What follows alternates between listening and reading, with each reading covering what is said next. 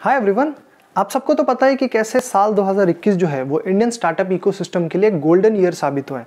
क्योंकि ना सिर्फ़ स्टार्टअप्स को यहाँ पे फंडिंग मिली है, लेकिन एक के बाद एक स्टार्टअप जो है, वो यूनिकॉर्न बनते चले गए इसके साथ ही हमने अपने चैनल में इससे पहले भी कई सारे यूनिकॉर्न स्टार्टअप्स को कवर किया है, और इसी सिलसिले को जारी रखते हुए आज के इस वीडियो में हम ऐसे और तीन स्टार्टअप्स की बात करने वाले हैं, जो कि रिसेंटली ही यूनिकॉर्न क्लब में शामिल हुए कौन से वो स्टार्टअप सबसे पहला है आपका नो ब्रोकर, दूसरा है स्पिनी और तीसरा है अप स्टॉक्स सबसे पहले अगर बात करें नो ब्रोकर की तो नो ब्रोकर डॉट कॉम जो है, वो एक रियल एस्टेट प्लेटफॉर्म है या फिर यू कह सकते हैं प्रॉपर्टी टेक स्टार्टअप है।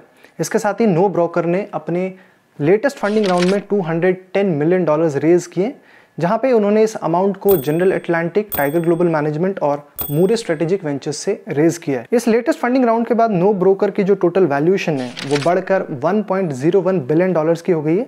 इसके साथ ही नो ब्रोकर जो है, वो इंडिया की ऐसी पहली प्रॉपर्टी टेक या फिर यू कह ले प्रॉप टेक स्टार्टअप है, जो कि यूनिकॉर्न बन चुकी है। इस लेटेस्ट फंडिंग राउंड के बाद नो ब्रोकर की जो टोटल वैल्यूएशन है, वो 2.5 टाइम्स बढ़ चुकी है। इसके साथ ही लास्ट टाइम 2020 में उन्होंने जब फंडिंग को रेज किया था, उस वक्त पे नो ब्रोकर की जो टोटल वैल्यूएशन थी, वो 400 मिलियन डॉलर्स की थी और टिल डेट नो ब्रोकर ने 361 मिलियन डॉलर्स रेज कर चुके हैं। अगर नो ब्रोकर की बात करें तो नो ब्रोकर की शुरुआत जो है, वो सौरभ गर्ग, अखिल गुप्ता और अमित कुमार अग्रवाल ने 2013 में की थी।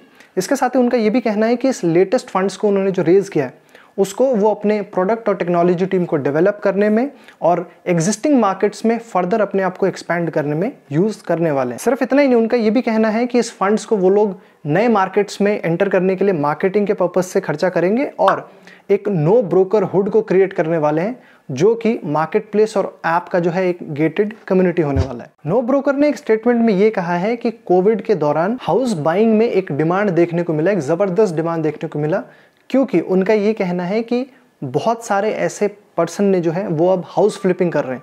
मतलब जल्दी से किसी प्रॉपर्टी को खरीदते हैं और उसको जो है, एक ऊँचे दाम पे दूसरे पर्सन को बेच देते हैं। अगर रेवेन्यू की बात करें तो कंपनी के जो रेवेन्यू है, वो ऑपरेशन से वो भी बढ़े हैं, जहाँ पे एफ़ आई ट्वेंटी में यही आंकड़ा 63.34 करोड़ रुपीज़ का था। इसके साथ ही नो ब्रोकर का ये भी कहना है कि उनका जो रेवेन्यू है, वो हर साल ट्रिपल हो रहा है। नो ब्रोकर का ये कहना है कि उनके पास आज के टाइम पे 1.5 करोड़ रजिस्टर्ड यूज़र्स हैं और ये जो यूज़र्स हैं, वो कई सारे शहर जैसे कि बेंगलुरु हो गया, मुंबई, पुणे, चेन्नई, हैदराबाद, दिल्ली, एनसीआर, इससे शामिल है।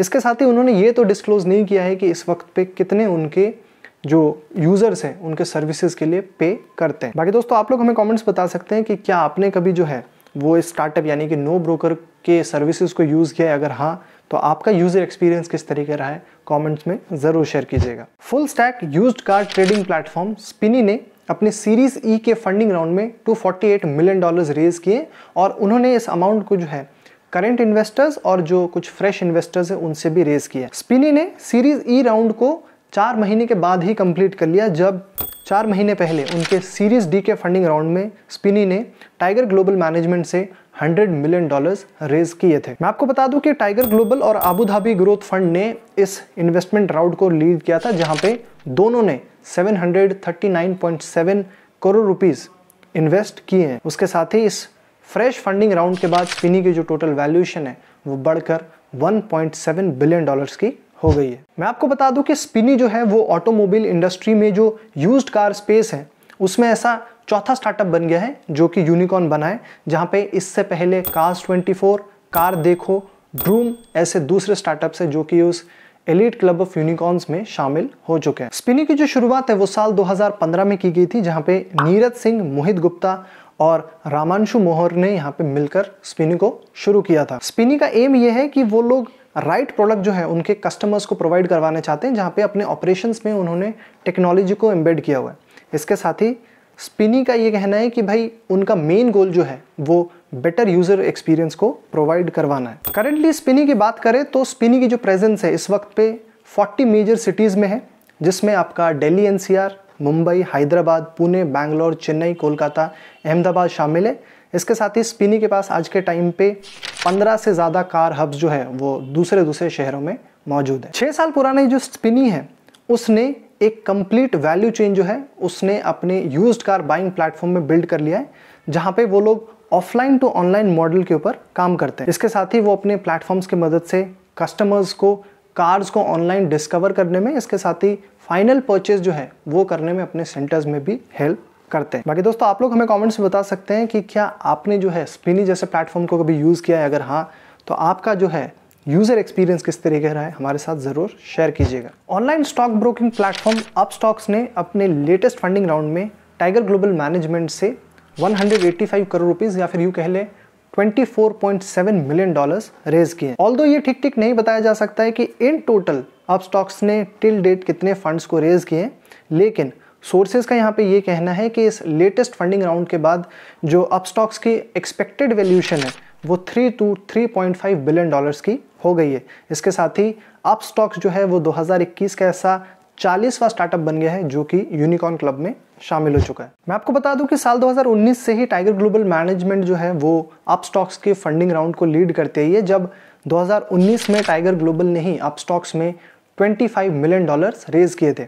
उसके बाद से ही जो फर्म है, उसमें एक स्टीप इंक्रीज देखने को मिला है उनके यूज़र बेस में, क्योंकि रिटेल पार्टिसिपेशन है इंडियन स्टॉक मार्केट में, वो भी over the period of time बढ़ा है। इसके साथ ही अगर अप स्टॉक्स के दूसरे फाइनेंसर्स की बात करें तो उसमें आपके टाटा कंग्लोमरेट के फॉर्मर चीफ रतन टाटा और कलारी कैपिटल भी शामिल है। मुंबई बेस्ड अप स्टॉक्स को साल 2009 में आर के सिक्योरिटीज नाम से स्टैब्लिश किया गया था, जहाँ पे उस वक्त पे श्रीनी विश्वनाथ, रघु कुमार, कविता सुब्रमण्यम और रवि कुमार ने इसको मिलकर शुरू किया था, जिसके बाद फिर 2011 में अपस्टॉक जो है वो रिटेल ब्रोकिंग सेगमेंट में उतरा और 2016 में फिर उन्होंने अपने आप को रीब्रांड करके अपस्टॉक्स नाम रख दिया। इसके साथ ही अपस्टॉक जो है वो आज के टाइम पे कई सारे दूसरे बिजनेसेस के साथ भी कम्पीट करता है, जिसमें आपका Zerodha Groww Paytm Money Angel Broking और बाकी के ऐसे ही कुछ जो फर्म्स है, वो भी शामिल है। सितंबर 22 को दिए गए एक इंटरव्यू में अपस्टॉक्स के को फाउंडर श्रीनी विश्वनाथ का ये कहना है कि उनकी जो फर्म है, वो यहाँ पे ना सिर्फ़ अपने कस्टमर बेस को ग्रो करने की बात कर रही है, जहाँ पे वो लोग टारगेट ये कर रहे हैं कि F Y twenty twenty two के एंड तक वो लोग 10 मिलियन कस्टमर्स का एक जो कस्टमर बेस है, उसको यहाँ पे डेवलप करना चाहते हैं। इसके साथ ही उनका ये भी कहना है कि आने वाले टाइम में अपस्टॉक्स जो है, वो सिर्फ़ ट्रेड्स को एग्जीक्यूट करने के बियॉन्ड भी वो अपने नेक्स्ट फ़ेज़ ऑफ़ ग्रोथ में दूसरे सेगमेंट्स में भी उतरने वाला है। इसके साथ ही 70 परसेंट जो उनका यूज़र बेस है, उनका फ़र्स्ट टाइम इन्वेस्टर्स है, जिसमें से 80 परसेंट जो है, वो 18 से लेके 35 के एज ब्रैकेट के अंदर आते हैं। बाकी दोस्तों, आप लोग हमें कमेंट्स में बता सकते हो, क्या आप लोग जो है अब स्टॉक्स जैसे प्लेटफॉर्म को यूज़ करते हो? क्या आप भी यहाँ पे स्टॉक मार्केट में इन्वॉल्व हो? क्या आप भी ट्रेडिंग या फिर इन्वेस्टिंग करते हो? जो भी आपके थॉट्स है कमेंट्स में ज़रूर शेयर कीजिएगा। बाकी आई होप जो वीडियो है, वो आपको ज़रूर पसंद आया होगा। इन्फॉर्मेटिव लगा होगा प्लीज़ इस वीडियो को लाइक कीजिएगा, अपने दोस्तों के साथ भी ज़रूर शेयर कीजिएगा। और हम आपके लिए ब्रांड से related news updates brand stories interviews podcast वगैरह रेगुलर बेसिस पे लेके आते रहते हैं। देखते रहने के लिए हमारे चैनल को सब्सक्राइब करके बेलाइकन को ज़रूर दबा दीजिएगा। मेरा नाम तोहिद रोमान है। मैं आपको मिलूँगा अगली वीडियो में। तब तक आप देखते रहिए नेक्स्ट पिक ब्रांड को। Thanks for watching